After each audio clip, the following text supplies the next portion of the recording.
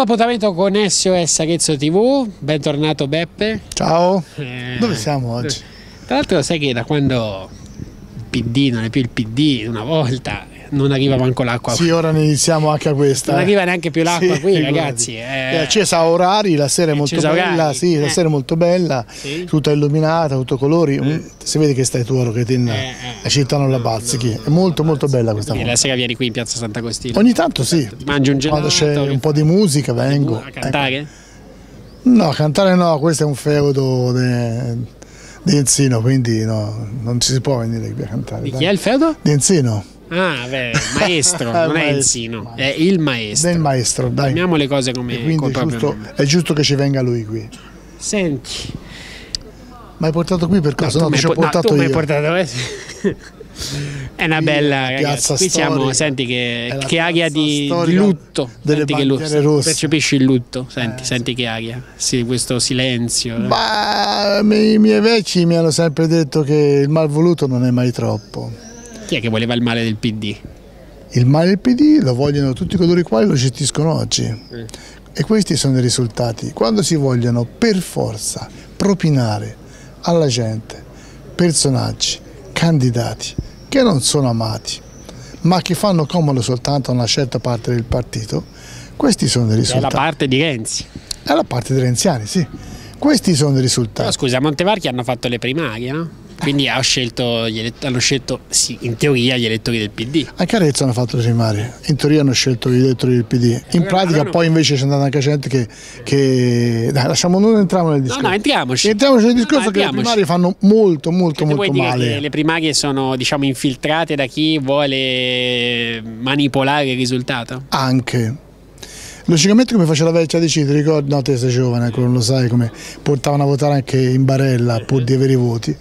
E così qui, insomma, si vogliono propinare personaggi quindi, che non sono amati quindi e quindi è, questi sono i risultati. Siamo... Poi si creano divisioni, discrasie e malumori fra i candidati stessi, di modo che anche coloro che perdono i primari poi si candidano oppure fanno poi i basti al contrario quando vanno a votare e questi sono i risultati. Quindi secondo questa tua teoria, se a Montevarchi eh, ci fosse stato solo Grasso, avrebbe, avrebbe vinto, vinto. Avrebbe vinto tranquillamente. Al primo turno. Non lo so se al primo turno, ma avrebbe vinto tranquillamente, perché il PD sarebbe stato unito e avrebbe votato per il Grasso. A San Sepolcro non lo so, perché il sindaco di San Sepolcro più che il doppio, era, del doppio ha preso eh, Non era molto amato, non era molto amato, quindi di conseguenza ci poteva stare che qualche problematica potesse venire. Ma tu fai l'analisi di quello che è successo da quando ci sono in, in, in maggioranza questo tipo di conduzione del partito, quello che è successo.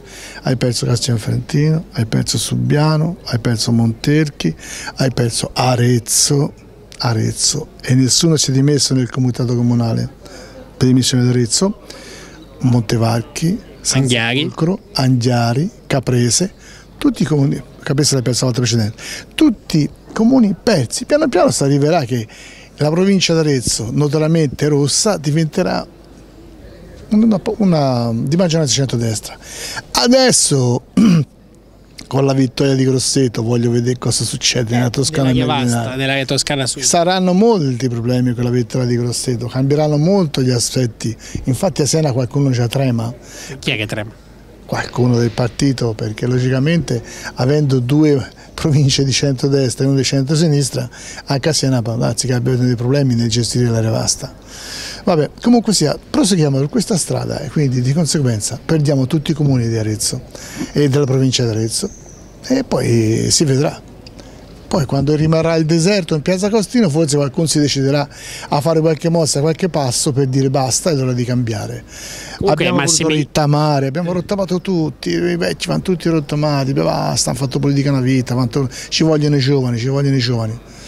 Io sono d'accordo che ci vogliono giovani perché ricambiano i giovani, però ci vogliono anche le ciocce perché senza ciocce i giovani non vanno a nessun posto. Il segretario Dindalini si è, non è che si è dimesso, ha rimesso il mandato all'assemblea. È stato l'unica persona seria in questo momento perché effettivamente da segretario paga le colpe di tutti, anche se non sono tutte le sue, questo è evidente, però paga le colpe di tutti, è l'unica persona seria che ha avuto il coraggio di fare quello che ha fatto, cioè rimettere il mandato, è stato lui, cosa che non è stato fatto in nessuna elezione elezioni precedenti nonostante le batoste prese a partire purtroppo da quella di Arezzo. Comunque eh, alla fine si pagano, tu hai citato le rivaste così, eh, mi pare che queste rivaste fanno acqua un po' dappertutto, quindi i cittadini sono un po' stancati anche di questo e, e gli artefici sono stati, è stato il PD, c'è poco da fare. Eh, il problema è stato questo, noi avevamo delle aziende partecipate che funzionavano tutte e che portavano fior di soldini all'amministrazione comunale.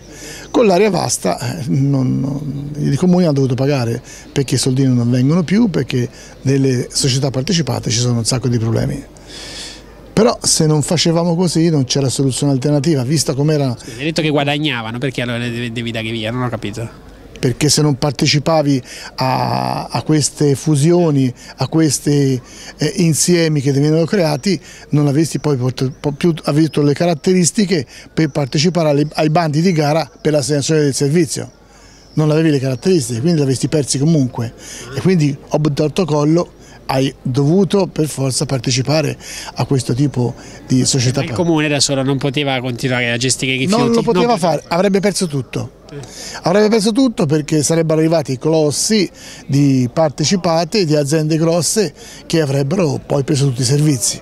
E l'unico modo per poter rimanere a galla e poter comunque garantire una continuità di servizi era quello di Vabbè, creare queste aziende. Infatti questi servizi costano di più, i comuni non ci guadagnano Infatti, più. Abbiamo fatto queste aziende perché eh. dobbiamo risparmiare eh. unendo tutti i servizi, eh. diminuendo quindi i consigli di amministrazione, eh. sindacali, personali, servizi doppi, amministrazioni e invece spendiamo di più. E anche tutti spendono di più. Tutti spendono di più. I tutti. servizi magari sono anche peggiorati, forse. Bah. O sono uguali? O sono uguali, sono uguali. Dai, sono uguali. Insomma, quindi eh, io poi non sono così convinto che, che ci saranno tutti questi cambiamenti, eh, perché sai, è vero, eh, Macri dice li accerchiamo, Ghinelli dice cambierà tutto. Ma se cioè... fosse per, per, lui sicuramente eh, avremmo stravinto dappertutto, se non c'era qualcun altro. Eh, capito? Ma lui chi? Eh, hai fatto un nome adesso. Macri. Eh. Se fosse stato per lui avremmo stravinto dappertutto. Perché? Ha fatto qualcosa che non doveva? No, non è che ha fatto qualcosa che non doveva, non rappresenta nessuno questa città. Vabbè, o rappresenta pochissimi. Dice che comunque ha contribuito. È logico, per la sua percentuale che, da, che, hanno, che, hanno, avuto, ha contribuito nel suo comunque, piccolo. questo per concludere, a volte quando ca cambia tutto, io nel senso voglio vedere cosa poi cambierà nel concreto in questi rapporti, perché poi eh, al di là degli schieramenti politici, poi sai. c'è stato, vedi il sindaco nominato presidente dell'Ato Rifiuti sì. è stato già un qualcosa di eccezionale in una um, terra amministrata dalla sinistra.